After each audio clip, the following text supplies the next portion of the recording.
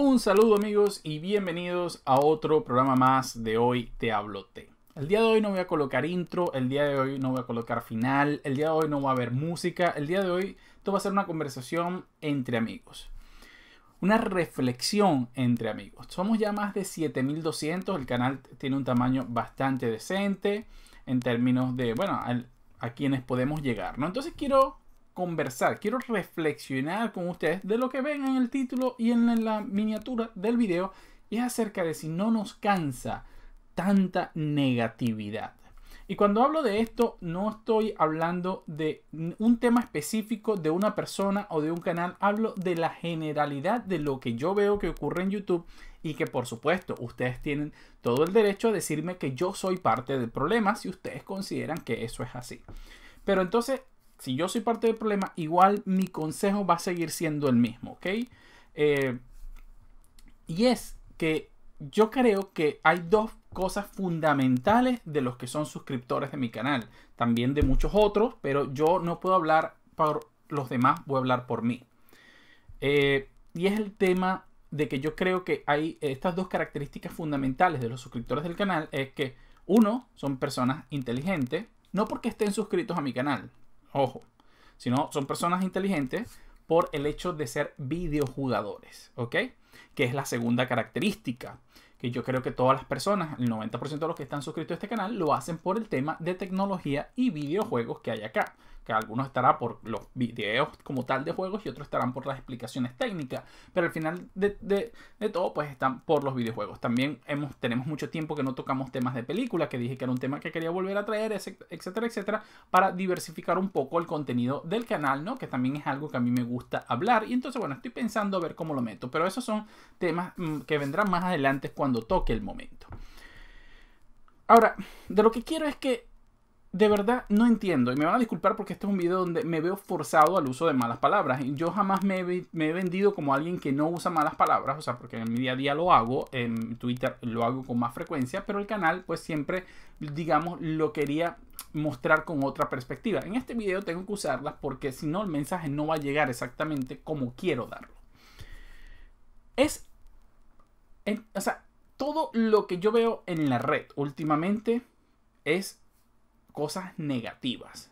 Vamos a hablar mal. Esto es una mierda. Aquello es no sirve. Eh, mayor cagada tal cosa. Me da diarrea tal otra. Eh, o sea, no lo entiendo. No lo entiendo, ¿no? Ahora, ¿por qué le dije las dos características iniciales? Lo primero es porque yo creo que si tú estás en este canal es porque te gustan los videojuegos. Te gustan es tu hobby, es lo que te hace feliz, es una de esas cosas, ¿no? Entonces, en, primer lugar, si te gustan los videojuegos, ¿por qué te gusta que te hablen mal de ellos? Ojo, yo no estoy diciendo ocultar las cosas que están ocurriendo que sean negativas. Yo tengo mi posición frente a muchas de ellas y yo se las he dado y ustedes las toman o las dejan. Pero de necesitas que te estén diciendo cada momento, cada segundo que todo es una mierda. O sea, por eso yo digo que ustedes son primero inteligentes, porque ustedes lo saben. Ustedes no necesitan que yo o que cualquier otro se los esté diciendo constantemente de que todo es una mierda. Lo digo porque a mí también me llegan muchas peticiones por Twitter, por los mismos mensajes de YouTube, diciéndome, Angelo, ¿has visto lo malo que ha ocurrido aquí? ¿Por qué no hablas de eso?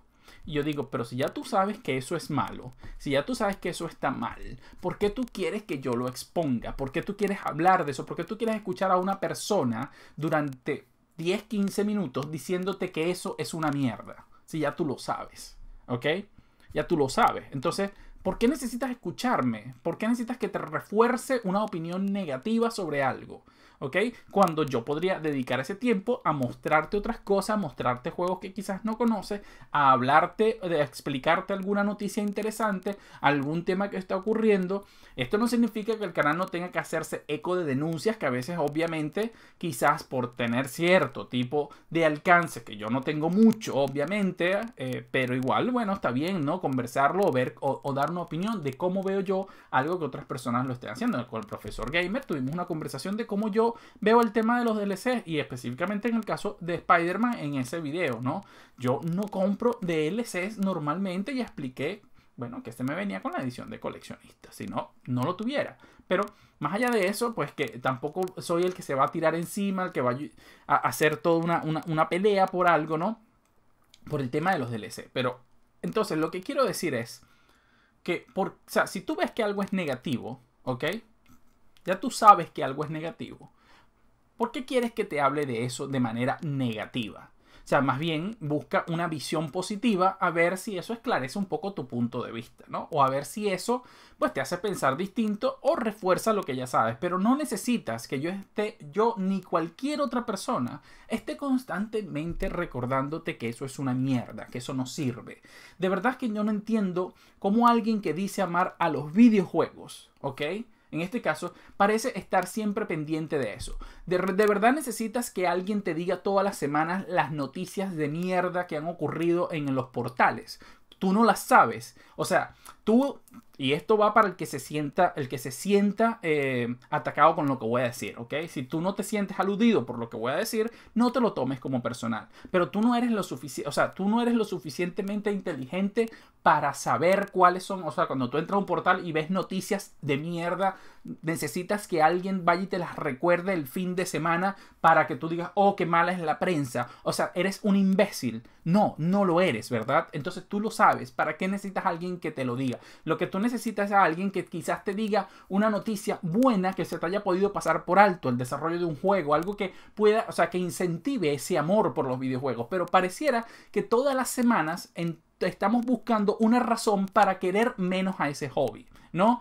Tú necesitas que... Eh, eh, ¿Qué necesidad tenemos de escuchar todas las semanas que si Nintendo no lo está haciendo bien o que si eh, PlayStation 4 bajó en la bolsa o que si Electronic Arts va a quebrar? ¿Cómo eso te afecta? ¿Cómo eso, o sea, de qué manera positiva? ¿Qué trae de positivo eso?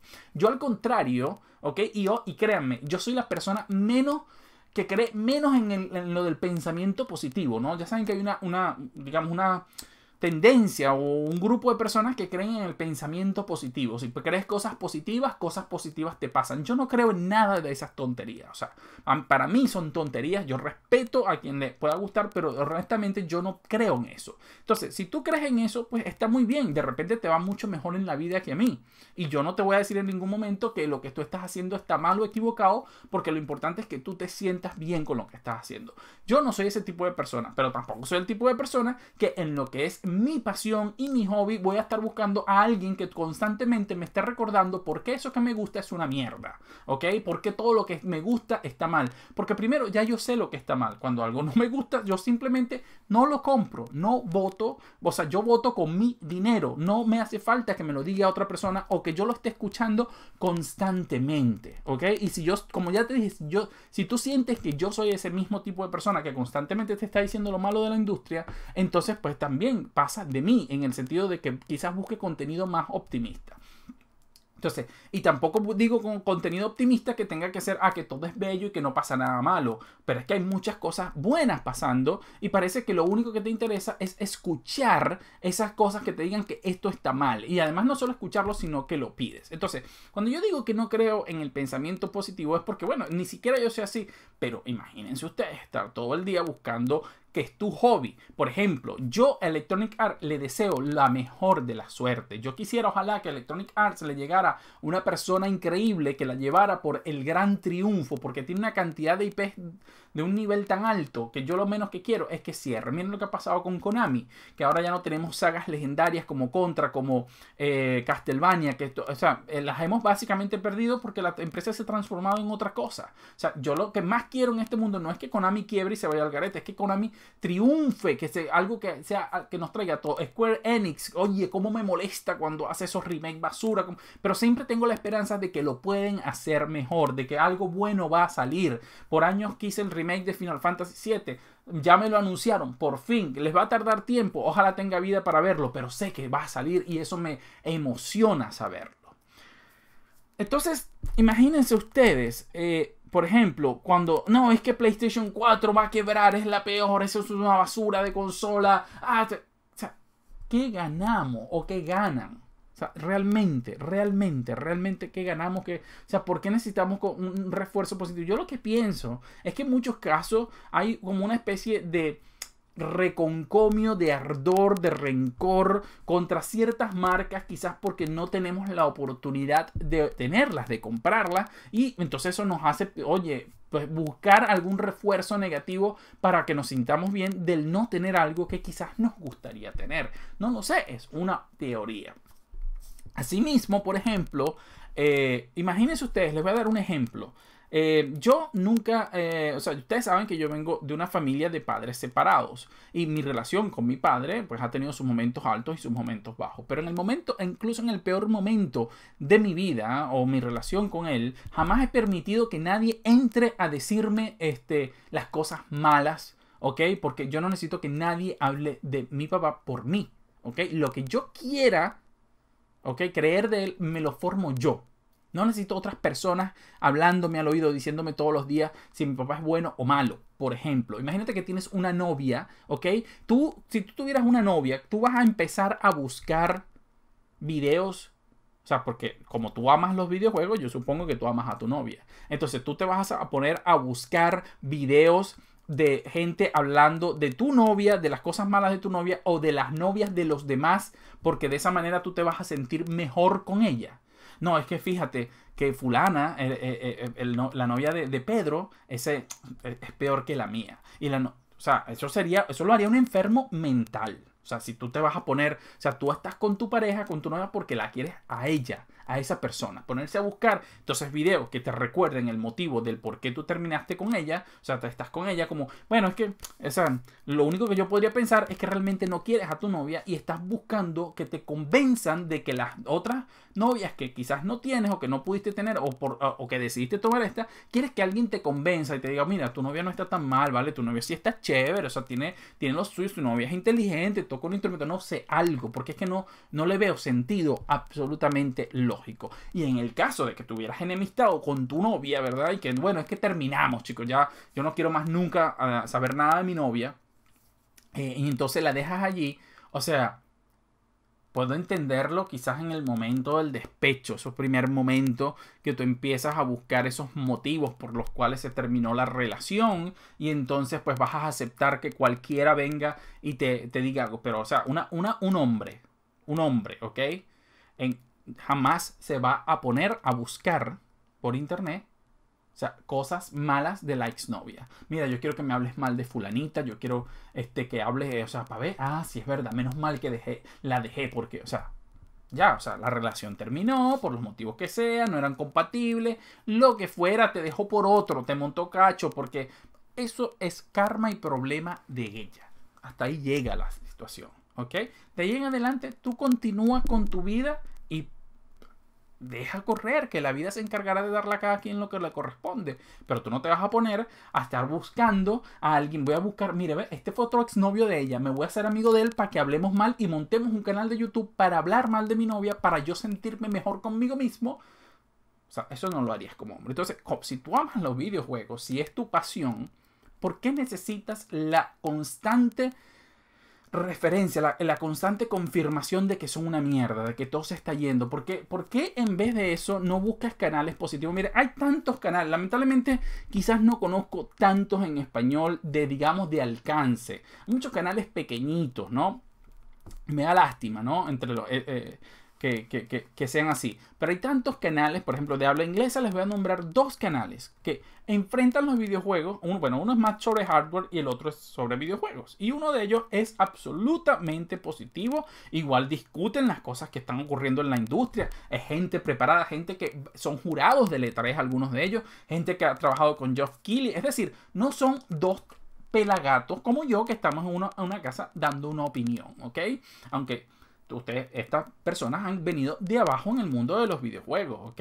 Este, Greg Miller, por ejemplo, es uno, ¿no? Una persona que, bueno, que se ha formado y, y tiene su, mundo, su modo de ver los videojuegos muy aceptable. Pero yo no estoy hablando de él, de todas maneras. Yo hablo, por ejemplo, de un grupo que yo siempre he dicho que admiro muchísimo por la buena vibra que hay en el grupo y que me encantaría poder tener acá en Inglaterra un grupo de amigos para discutir de videojuegos así, pero obviamente yo no conozco ni siquiera a nadie acá que hable español que los hay muchísimos, pero estoy hablando que yo no lo conozco, ¿ok?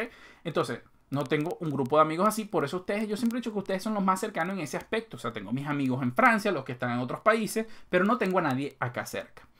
Que son el grupo de los Easy Allies. Son un grupo en español, en inglés lamentablemente, pero ustedes ven que abordan todos los temas con un gran optimismo. Pero no, eso no significa que te van a decir que todo es bello y bonito, sino que, bueno, cuando un juego no sirve cuando algo no funciona, te lo van a decir sin ningún problema. Lo que no van a hacer es agarrar todas las semanas, ellos tienen un podcast de lo más interesante, donde hablan del acontecer de los videojuegos desde un punto de vista realmente noticioso, interesante y de debate. No para decirte todas las cagadas que han hecho la prensa, todas las cagadas que han salido para decirte. Y, y, a veces discuten cosas como, bueno, mira, han anunciado un DLC que no tiene ningún sentido. Y ellos discuten el por qué creen que eso no tiene sentido desde el punto de vista del respeto. Pero no hace falta para eso decir esto es una mierda, es una cagada, se va al carajo. O sea, ese tipo de cosas que están constantemente diciéndote que no sirve. Otro canal bastante interesante para el que le pueda interesar, que busque algo de positivismo. Eh, bueno, positivismo es un tema, un tema jurídico, pero en este caso hablo de, digamos, del estado de ánimo. Es, por ejemplo, un, pequeño canal eh, inglés, bueno, ya ha crecido bastante, ya va por los 200.000 seguidores, que se llama Random Gaming HD. Este chico lo que hace todo el tiempo es hablar de hardware, digamos, viejo, de hardware usado, eh, de cómo armarte un PC con 200 dólares, de, cómo, de qué tan bien se va a comportar. Y fíjense que él, eh, me da mucha risa, ustedes pueden ver en los comentarios, la gente que dice que mientras otros canales, por ejemplo, como el mío, estamos siempre hablando de cómo llegar a los 60 FPS y eso, eh, para él, cuando él habla, bueno, con esta tarjeta de video de hace dos años, la 680 tal, que cuesta 50 dólares, bla, bla, bla, el juego te va a ir entre 30 a 60 frames, a calidad media en 1080, así que es súper jugable. ¿No? Mientras otros estamos un poco más, eh, eh, digamos, no, 60 frames o 30 estables y tal, no. Él, o sea, eso es jugable, está bien, y se lo toma eso, ¿por qué no? O sea, pues ya después menos de 30, ah, aquí la cosa va a depender si te gusta o no, o sea, y, no está, digamos, con, con tantos tecnicismos, ¿va? Y siempre está probando hardware, y tiene siempre un estado de ánimo realmente positivo, el canal pues no entra en ningún tipo de polémica, no entra en nada, y de eso se trata. Entonces, yo, yo lo único que quiero es tratar de entender por qué entre personas inteligentes, como ya dije, que son todos los que juegan videojuegos para mí porque requieren de cierto nivel, entonces yo considero que cualquier persona que juega videojuegos ya tiene un cierto nivel de inteligencia. También considero que las personas que están suscritas a mi canal, como a tantos otros, dependiendo cuál obviamente, es porque tienen pasión por los videojuegos. O sea, los videojuegos es su pasión.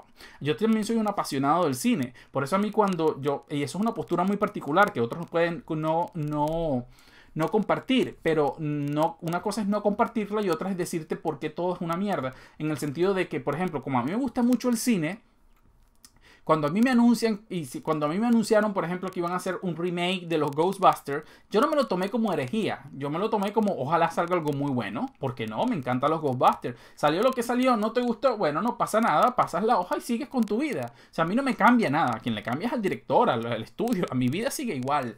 Eh, ahora mismo, por ejemplo, yo soy un fan súper enfermo de Terminator. Para mí Terminator es uno, Terminator 2 es una de las mejores películas de la historia del cine. Y yo soy un fan enfermo. Entonces cuando anunciaron Terminator 3, wow, pensé que era la segunda venida. Eh, no me... Mala, bien. De luego me anunciaron Terminator Salvation y nuevamente, ojalá que salga un, un producto brutal. Eh, otra vez. Eh, que debo decir que no me desagrada tanto, pero bueno. Me... Después Terminator Genesis. Oh, sí, ahora sí, vuelve Arnold, esto va a ser increíble. Otra desilusión más. Y ahora me han anunciado que viene una nueva Terminator que va a acabar con todo lo que ha pasado después de la 2. O sea, todo eso no existe con James Cameron como productor y, y Tim no recuerdo el nombre, el director de, de, Deadpool como director. Y yo otra vez me vuelvo a emocionar porque, que, o sea, si sacan 10 veces más Terminator y más Terminator, ¿qué es lo peor que puede pasar? Bueno, que sean películas malas, pero la 2 siempre va a estar allí, va a ser mi preferida y no me la va a acabar nadie, no me la va a destruir nadie, pero lo que puede pasar es que de repente por fin saquen la película que estábamos todos esperando, por fin, no importa, hemos pasado por 4 sí, malas. Igual de eh, Pesadilla en la calle del infierno, Nightmare on Elm Street o Freddy Krueger, como lo conocen otros, eh, Pesadilla en la calle Elm, etc eh, yo soy súper fan de toda la saga, me las he visto las, malas, todas, todas, me encantan. Yo soy súper fan de, de, todo lo que ha sido. Y cuando sacaron el remake nuevo que iba a salir, yo estaba súper emocionado y después terminó siendo una chapuza. Pero no importa, yo espero y yo sigo esperando que saquen la siguiente. Así como que, bueno, no, eso fue mala, pero va a, haber, va a venir otra. ¿A qué caso?